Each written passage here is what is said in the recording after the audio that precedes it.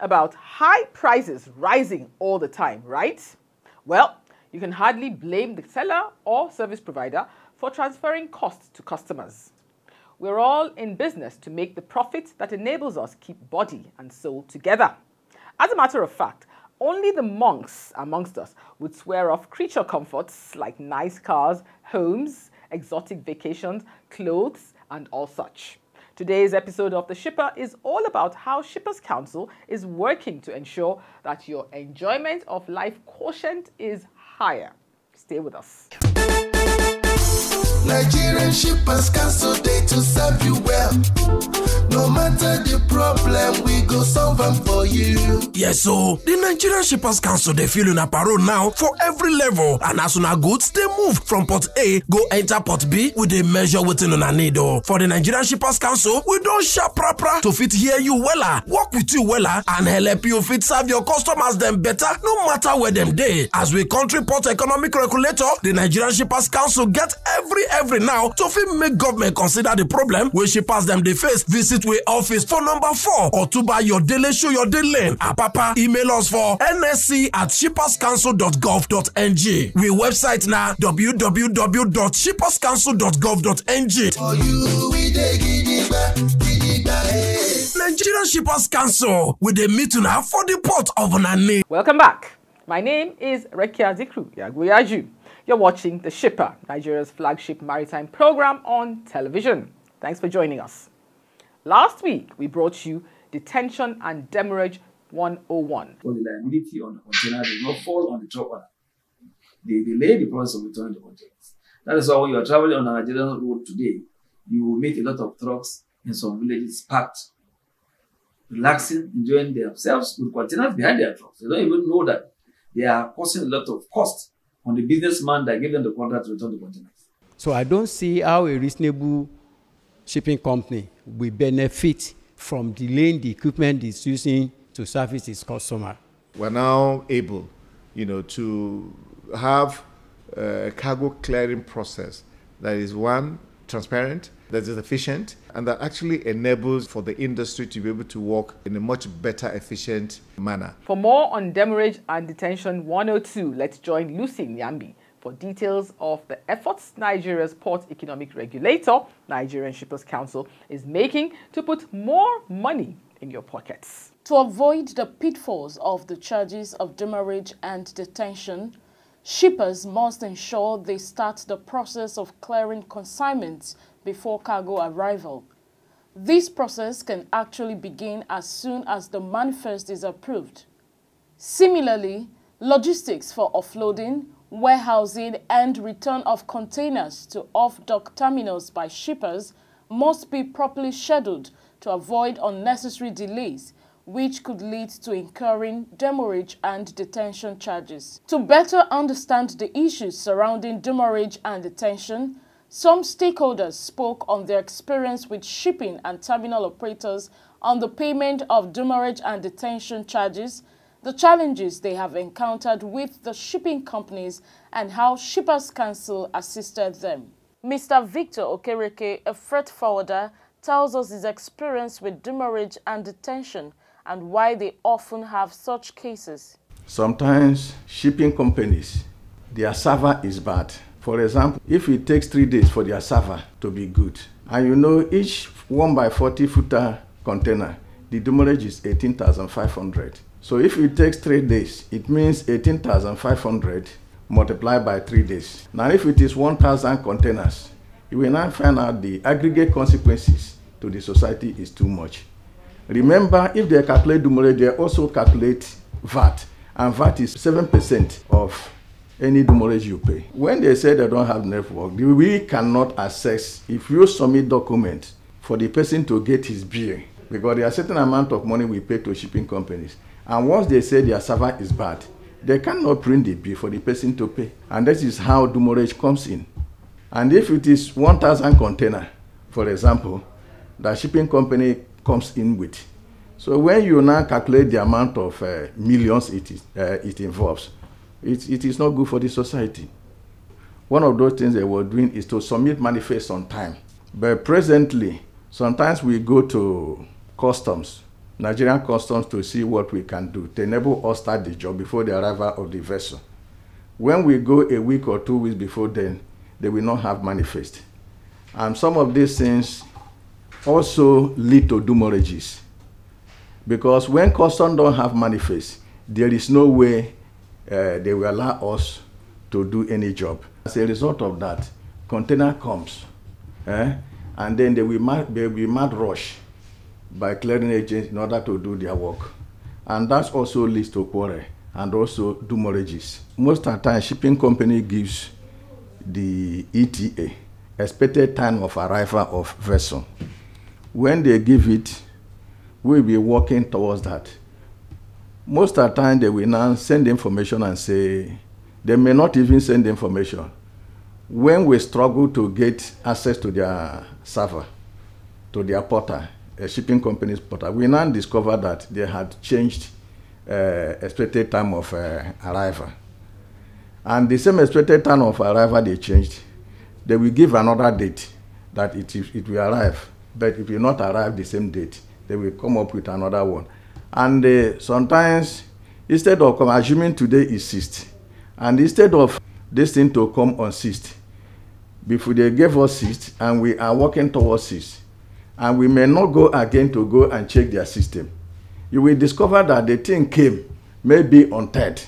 Remember that because we prepared for 6th, and the container came on 3rd, it means that leads another demurrage. So it is not all that uh, good for us. Some shipping company will tell you they are discharging their cargo at TICT. Now, when it is two days before the arrival of the container, some of us must have done our custom session, believing that the container will drop at TICT. When we go to assess debit uh, note, how much we pay to shipping company, we now discover that the container was now transferred to Square. And uh, sometimes they don't transfer the same container. When they say TICT, they will keep it at the ship side. Within the period, after three days, we pay for terminal demurrage. We also pay for shipping company demurrage. Because some of us start something before the arrival of uh, vessels. And sometimes some shippers don't hear English. Then some shippers will now say, okay, I find somebody who will reinterpret for me. And uh, maybe when you call, the importer calls the shipping agent, he will say, no, no, no, no, uh, uh, me, I don't understand English. As I don't understand English, you wait, I find somebody. You call again, the person will keep on maybe three, four, five days before we now find somebody who can now interpret that so, so, so thing is supposed to be there. And he need to initiate amendment. So on this process, some importers will say, I have paid you. The agent say, you paid me, not for this uh, problem. So it brings problem between agent and importer. And as a result of that, the cargo will lie down until that issue is uh, resolved. Nigeria's ports on a daily basis receive high volume of cargo from different countries in the world, which call for instant clearance to be able to accommodate the berthing of vessels and discharge of cargoes. In shipping, you must be able to track your cargo. And how do you can you track your cargo? It's with the shipping lines. The moment you initiate that process of importation, you should not lose track. You should be able to have communication with the shipper. You'll be able to tell you these are the time that the cargo has been loaded. And this estimate we are talking about is for you to also prepare. It's a window for you to now begin to say, okay, let me plan. Even if it comes before 6th, if you have planned ahead, you should be able to meet up. So you should not wait until probably on the 6th exactly before you start finding out. You should be able to go on their website, check your content because the container has numbers and your bill of lading will have all those numbers that you can track. On your own, you can go to their website and begin to track. And this ETA, as you keep tracking it and it's moving, you'll be able to now like know that, oh, this cargo that was supposed to uh, arrive on the 6th probably now going to arrive on the 3rd. So you, you won't be caught unawares. But when you fail to plan and fail to track those things, that's when you now caught, you are now caught off guard. And when it now comes, you're now running, you know, up and down to see if you can meet up. Ensure that whenever you are importing, you must carry all those that are involved in uh, moving these containers, educate them properly. For example, the freight forwarders will know that once this container arrives, they must clear it and move it from the port at, within those three days. And then when taken out and offloaded, given to the truck owners to return to, to the designated terminals, they should educate them that this thing also works with time. So they should ensure that they take those containers immediately to those de- designated terminals and giving a proof or a receipt or what we call the uh, container equipment exchange card, which is now a proof that you've returned the container. So there's no more detention charge on that container. For the demurrage, you don't have a demurrage. So at the end of the day, you find out that you've managed how you've reduced your costs. But once these containers are not returned, if it takes three months to return, the detention will count for three months.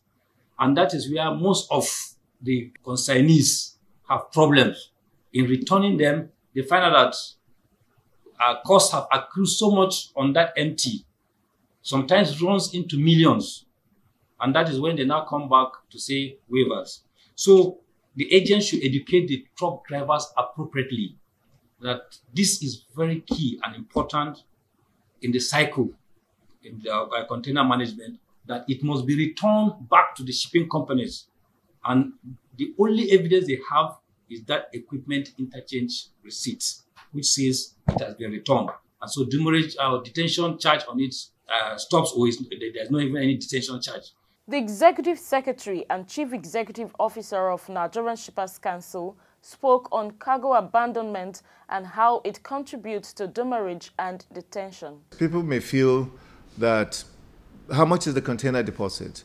And then if you look at the value of a container, maybe it might make, you know, some disingenuous business sense, you know, to then say, well, I think I value keeping this container than actually, you know, requiring that I assess deposit that I paid, which is the reason why you know the shipping companies and the terminal operators have continued to argue that because of the reason, that particular reason, why people want to take advantage is believing that the value of the container vis-a-vis the deposit that has been paid does not match up. That is the reason why detention then becomes a tool that's available. Because by detention, the implication of detention simply is that if, for instance, a shipper has taken a particular container uh, and has refused to return it, by the time another consignment of his arrives at that particular port, the terminal or the shipping company may now hold on to the new consignment as a detention until the return of his previous empty container. That, that is supposed to be a balancing effect, and either ways, it doesn't really work effectively for the industry for anybody to engage in that kind of conduct. You know, so we would like to discourage people in conducting themselves in that kind of manner because not only is it mischievous, but like I said, ultimately it does impact negatively on the economic matrix in a way you know, that does not do justice and bring you know, an effective running uh, of the you know, container regime. He also explains what Shippers Council is doing to manage demurrage and detention. Part of our mandate also is sensitization. You know, the fact of the matter is that a lot of people really sometimes do not even know that actually the documents that they sign as far as containerization requires a return of these containers. So when we engage in the public sensitization, one of the things we do is to enable the shipping community to be aware that there are obligations to which you have appended your signature in the course of doing your business in our port. One of which is that when you take away a container, you have to return it.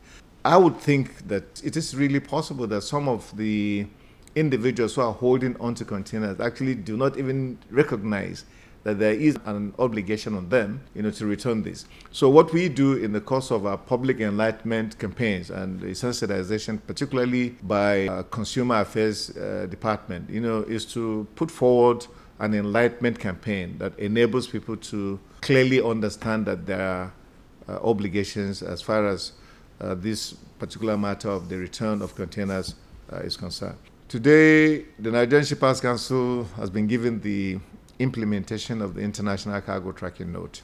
International Cargo Tracking Note has a lot of benefits, one of which is it now provides at once, you know, the clarity in the industry uh, to be able to function in a way that uh, right from the port of origin to port of destination, we have available in our system, you note, through the international cargo tracking, know, the tools that will enable, I mean, cargo owners to be able to trace the movement of their cargo from the port of origin to any port of destination here in Nigeria.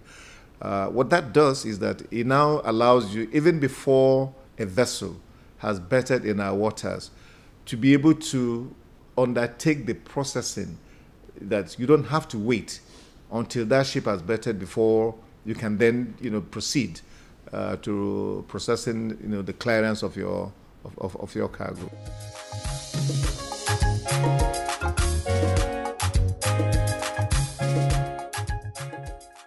Take it that we are sufficiently educated about one aspect of how prices keep mounting.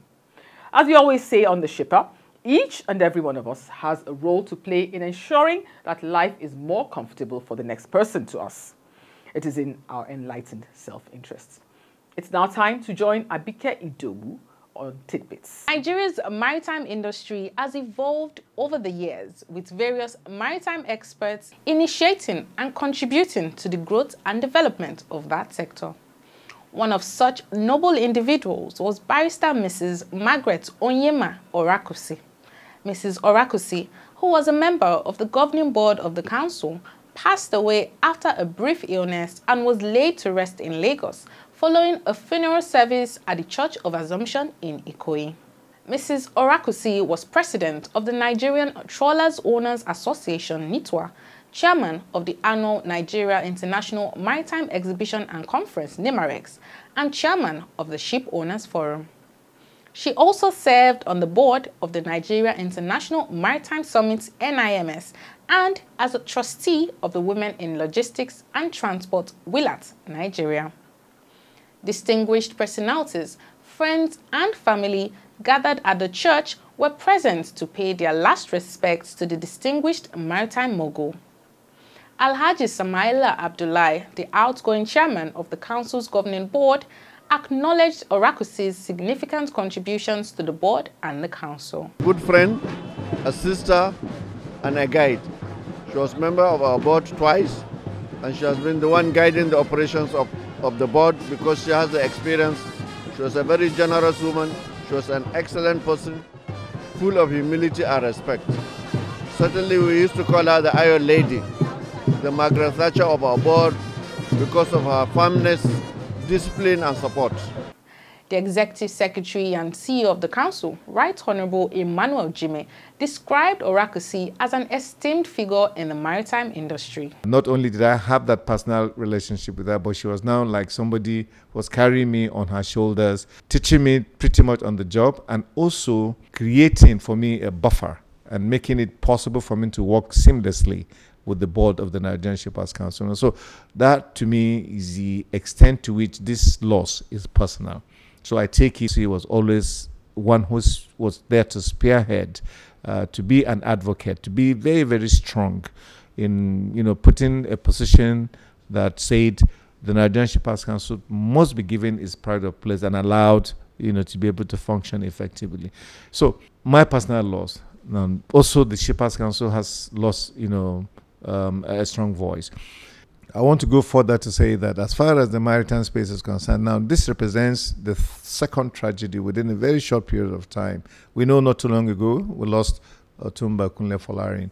Uh, now Ms. Margaret Orakwusi. These were voices that if you got into a conversation about the direction that the maritime space in this country should be moving, you needed to listen to them because they were always there available to advise and to be like perhaps uh, you know as they were very knowledgeable about the issues so um, every single time when you had a problem you could just simply run to them and then you're able to get uh, the you know sort of advisement that will allow you and enable you to take the decisions that were very well informed.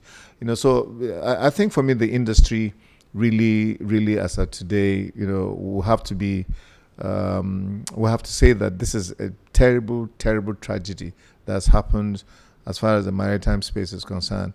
The show of love and appreciation for the late Amazon continued at the burial as friends and family members paid glowing tribute to the departed, wishing her soul eternal rest. Had a, a medal for ensuring that everybody around her was happy. So her smile was extravagantly infectious. That whenever she comes in your presence, she will bring her her extravagant, uncommon smile that will just make you happy. I'm still looking for another woman that can fill her space. It's going to be very difficult. She will do everything effortlessly without making a noise. She was an achiever. She will forever make you smile when you go to her with heavy tears.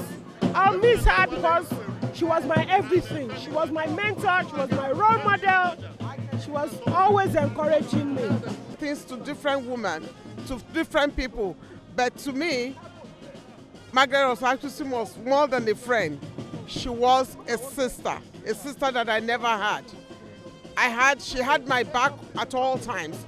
Very dependable woman, a woman you can rely on on anything, a woman you can just call at any time of the day, at night, and she will be there to support you for anything. Anything you, you wanted her to do, she will do.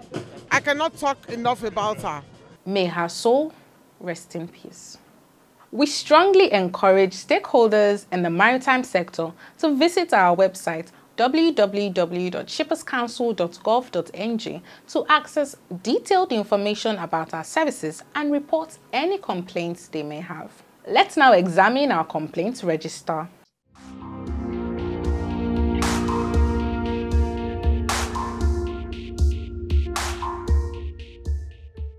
During the week of 19th to 25th June 2023, we received a total of 10 complaints and all of them are ongoing investigations. These complaints include unjustifiable charges, fraudulent activities, illegal fees, persistent blocking, frequent interference, and container lane. It's time for global shipping news. World Fuel Services will establish new bunkering services in Jamaica, working with Scott Petroleum, a leading distributor of petroleum products and services throughout the Caribbean. World Fuel Services has been a leader in marine fuel trading and brokering for over three decades. With a proven track record of delivering high-quality fuel and exceptional customer service to the marine industry worldwide, World Fuel Services has amassed a huge body of expertise and connections in more than 1,400 seaports around the world. On the other hand, with over 20 years of experience, Scott's Petroleum Limited is well known to all players in the region for its exceptional service in physical bunker supply in Jamaica and has built an unparalleled reputation for reliability, safety, and efficiency. And that's it for Tidbits for this week. You next time.